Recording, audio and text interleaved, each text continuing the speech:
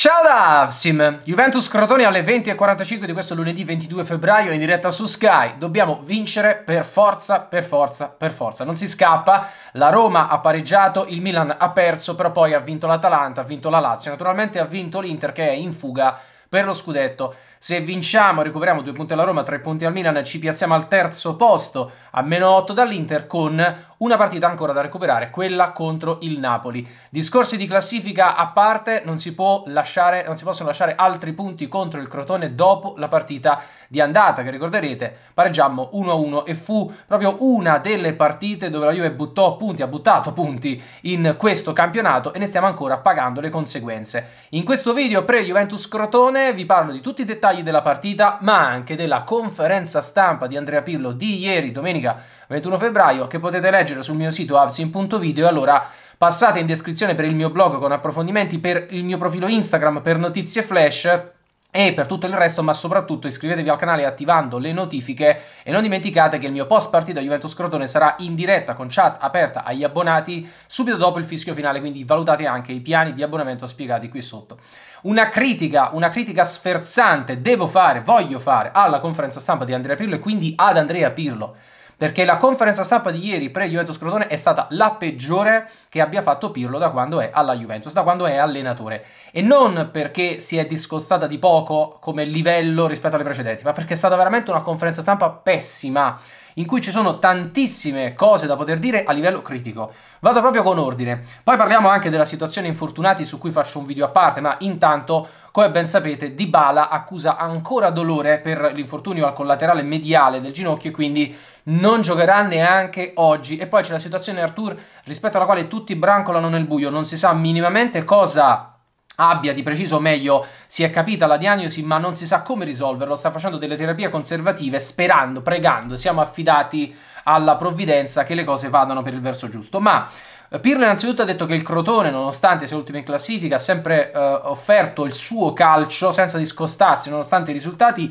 e quindi eh, fa buon calcio e sarà per questo una partita ostica. Ma poi si è parlato tanto, forse anche troppo, della partita contro il Porto e qui Pirlo non ha fatto il minimo di autocritica e mi fa piacere che tanti lo abbiano sottolineato sui social perché vuol dire che i tifosi della Juventus stanno notando come vanno certe cose, non ha fatto il minimo di autocritica per quelli che sono stati i suoi errori contro il Porto, ha scaricato più volte la responsabilità su determinati giocatori, ma ha anche palesato la sua inefficacia nel dare ai giocatori i giusti ritmi, i giusti dettami e la giusta sveglia lì dove serviva. Ha detto è colpa di Bentancur per quell'errore e poi doveva eh, reagire perché non puoi fare un errore e poi eh, diciamo perdere la lucidità per 90 minuti. Quindi lui lo sa che ha sbagliato ne abbiamo parlato ma poi deve reagire ma poi deve continuare a fare le cose per il meglio come se dipendesse solo dal singolo quello che fa nel campo. È stata anche colpa di Kuluseschi che non è riuscito a trovare la posizione in campo oltre a non avere la buona lucidità fisica ma come fa a essere colpa di Kuluseschi che non trova la posizione in campo? L'allenatore a cosa serve? E il fatto che Kuluseschi sia fuori ruolo, lo stiamo dicendo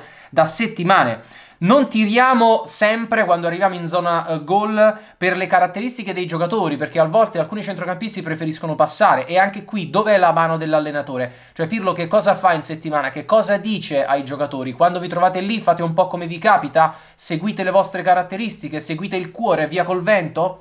Non capisco. Poi ha parlato con Agnelli, in particolare perché Agnelli era anche in Portogallo, ma di questo diciamo, si confrontano e parlano continuamente, quindi non c'è stato uno sveglione da parte di Agnelli, non c'era bisogno di una strigliata, di uno scossone ai giocatori, anche perché quando perdi un ottavo di finale lo capisci da solo che cosa hai sbagliato, la Juve, i giocatori, i giocatori, soprattutto i ragazzi, serviva a dare uno scossone ai ragazzi, secondo Pirlo, non anche a lui e allo staff, ma avevano già capito la gravità della situazione di aver giocato non da Juventus. Non sono preoccupato e non ero preoccupato perché eh, stiamo, eh, stiamo, stiamo, facendo eh, ottimi, abbiamo fatto 11 vittorie su 13 eh, partite e soprattutto ci sono troppe partite con Pirlo che ha ripetuto scimmiottando le stesse identiche parole di Paratici alla vigilia della partita contro il Porto o forse alla vigilia della partita precedente contro il Napoli in campionato, cioè eh, abbiamo fatto 15 partite in 40 eh, giorni, come fare un girone d'andata in un mese e mezzo. Le stesse identiche parole, ripetuto Pirlo, in conferenza stampa scimpiottando Paratici enfatici come se non fosse realmente convinto, ma come se fossero appunto parole dettate. Ma questo che dobbiamo, il fatto che dobbiamo giocare ogni tre giorni, cosa comporta rispetto ai passi falsi che stiamo facendo? Mi sembra una banale scusa. Torneremo a fare gol su punizione, Ronaldo si sta allenando molto, sta anche migliorando. Beh, voglio ben vedere, spero che cambino le cose da questo punto di vista. L'Inter non è attrezzata per lo scudetto, un'ora dopo l'Inter vince il derby e vola, cioè dichiarazioni fallimentari da parte di Pirlo che tra l'altro possono dare un grande slancio a Conte che è uno che a livello emotivo lo sapete bene come lavora. L'Under 23 ci può dare una mano se ci sarà la necessità, giocatori come Dragusin e Fagioli giocheranno, ma di questo vi parlo dopo nelle formazioni perché dire che serve la necessità per mettere in campo dei giovani è aberrante, ma soprattutto ho alzato la voce nell'intervallo, siamo entrati in campo e i giocatori hanno avuto 10 secondi di blackout e allora cosa hai alzato la voce a fare? E allora cosa sai fare? Nulla, cioè alzi la voce nello spogliatoio nell'intervallo e quelli vanno in campo e hanno 10 secondi di blackout e tu poi li giustifichi pure come se fosse una cosa... Eh vabbè, sono capitati 10 secondi di blackout. Ma assurdo, ma assurdo, ma assurdo, ma veramente no. Quindi una conferenza stampa, quella di Pirlo, che mi ha deluso tanto a livello comunicativo, ma a livello contenutistico. E proviamo allora a parlare di questo Juventus Crotone. Un Crotone che è vero è ultimo in classifica, ma è vero ha una sua proposta di calcio. Io l'ho visto giocare contro l'Inter, l'ho visto giocare anche contro il Milan. Non è una squadra che sa attaccare, però quando si riversa in avanti prova un po' a fare casino, prova a muovere un po' velocemente il pallone e ad inserirsi con i movimenti dei giocatori. Non è una squadra che sa attaccare con il terzo uomo, quindi vanno solitamente con uno o due uomini che cercano eh, dei varchi per passarsi il pallone, però scappano frequentemente in zona centrale dentro l'area di rigore, quindi hanno questi tagli centrali abbastanza frequenti. Però per quanto riguarda l'impostazione partono normalmente con un gioco dalle fasce che solitamente si arresta sulla tre quarti per cercare appunto uno sbocco centrale. In fase difensiva sono spesso disastrosi, peggior difesa del campionato, perché prendono gol ehm, che non dovresti prendere in Serie A. Da questo punto di vista il Crotone sembra condannato alla retrocessione, ma non è ancora detto e con 12 punti di cui uno regalato da noi all'andata possono farsi forza. Di questo infatti Stroppa in conferenza stampa pre-partita ha detto noi andremo a Torino per, fare, per provare a fare punti sperando di trovare la Juve in pessime condizioni. Bravo Stroppa. Hai capito perfettamente com'è la situazione D'altra parte, ma questo lo diciamo dopo, ci sono tanti indisponibili per la Juve. Le statistiche del Crotone, 3 punti nelle ultime 5 partite, cioè una, una vittoria e basta. Eh, 23 gol fatti, 52 subiti peggior difesa, anche se dal punto di vista degli expected goals avrebbero meritato di subire solo 42 gol. Ecco, come vedete, tanti difetti difensivi, ma di segnarne solo 19 addirittura, quindi sono stati anche più cinici del dovuto in attacco. Fanno però un buon pressing, hanno un numero PPDA di 11 eh, a, a riaggredire e di 9 a subire la riaggressione, quindi tengono abbastanza bene il pallone ed infatti sono eh, sesti in campionato con 16 contrasti a partita, la Juve è undicesima con 15, mentre sono penultimi per intercetti 10, la Juve è a metà classifica nona con 13 intercetti. Poi vediamo alt le altre statistiche di Uh, who scored? Uh, per il possesso palla il Crotone non è per niente ultimo. Metà classifica dodicesimo con 49% la Juve è seconda con 57 per i passaggi eh, metà classifica dodicesimo posto 439 la Juve è prima con 589 per la precisione medio bassa classifica ma non bassa classifica 80% quindicesimo posto la Juve è prima con 89 mentre dove peccano sono i tiri perché fanno 9 tiri totali e sono diciannovesimi di cui 3 in porta e sono diciassettesimi la Juve 15 totali terzo posto di cui 6 in porta porta, terzo posto, e subisce il Crotone 14 tiri in media a partita, sono sedicesimi, la Juve 11 e per questo è quinta. Ecco, come andò all'andata? Il Crotone fece esattamente 3 tiri in porta, 10 tiri totali, 3 in porta, la Juve 11 tiri totali, 2 in porta, uno con Morata e uno con Portanova e quindi capite che già all'andata abbiamo concesso troppo. Tra l'altro sono una squadra che subisce abbastanza da piazzato, ma noi non segniamo da piazzato, attaccano centralmente e tirano prevalentemente da fuori area e un po' da dentro l'area, ma non in area piccola, eh, oltre che da prevalentemente posizione centrale, mentre subiscono tiri prevalentemente da posizione centrale e dentro la loro area di rigore e sono il terzultimo baricentro più basso, cioè sono eh, la terza squadra con il baricentro più basso della Serie A. A questo punto passiamo agli indisponibili al discorso di, eh, di Bala e degli infortunati, ma ripeto, di quello poi voglio parlare a parte in un video specifico, e quindi alle formazioni di questo Juventus Crotone di stasera che può finire con un solo esito, eh, solo esito, deve finire con un solo esito, proprio l'enfasi, perché mi sto già innervosendo per questa partita di stasera, se non dovessi andare come devi andare, e deve andare che vinciamo, ma stra vinciamo, perché non è possibile vincere col Crotone 1-0, 2-1 o neanche 2-0, gli dobbiamo fare al minimo 3 gol, visto quanti ne hanno subiti il peggior attacco del campionato, noi siamo il sesto attacco del campionato, ma ciò non giustifica che segniamo poco contro il Crotone stasera.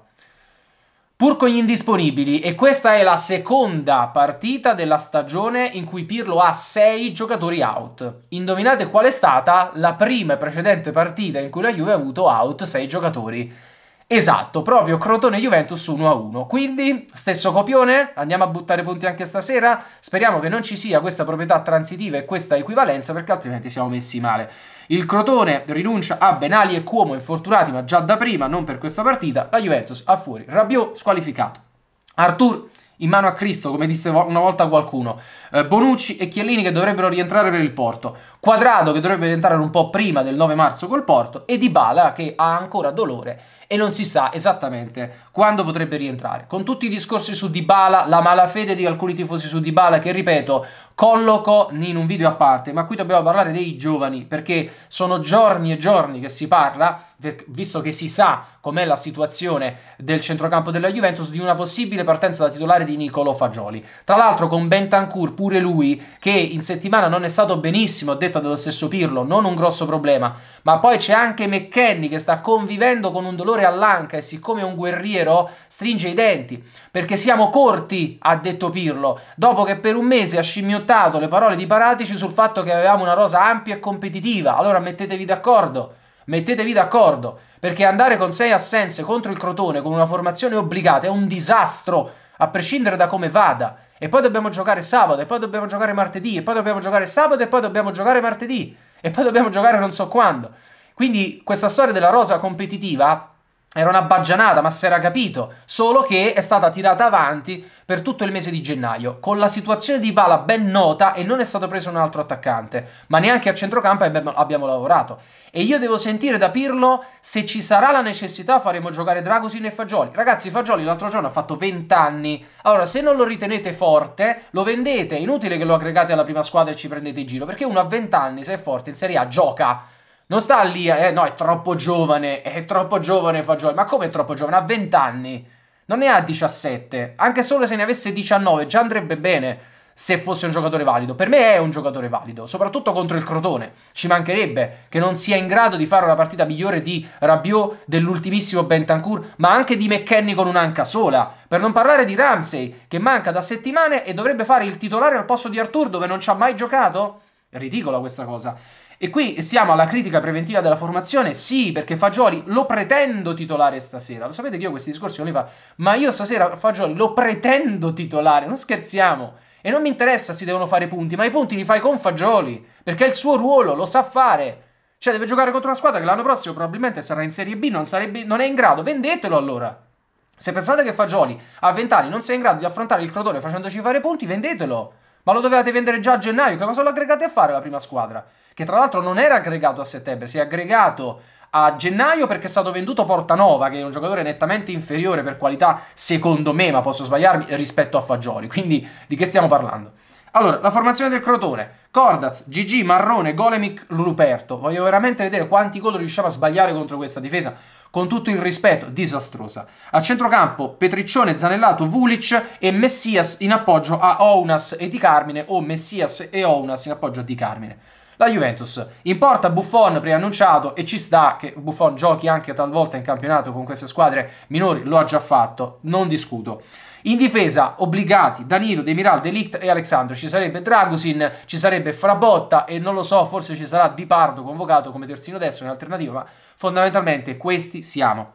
A centrocampo, Chiesa a destra e vorrei ben vedere il contrario visto che quella è la sua posizione e ringraziamo Federico Chiesa che ci sta salvando la stagione, che è l'unico che sta giocando, uno dei pochi che sta giocando con grande rendimento partita dopo partita e non si sta mai facendo male, ma veramente incrociamo le dita.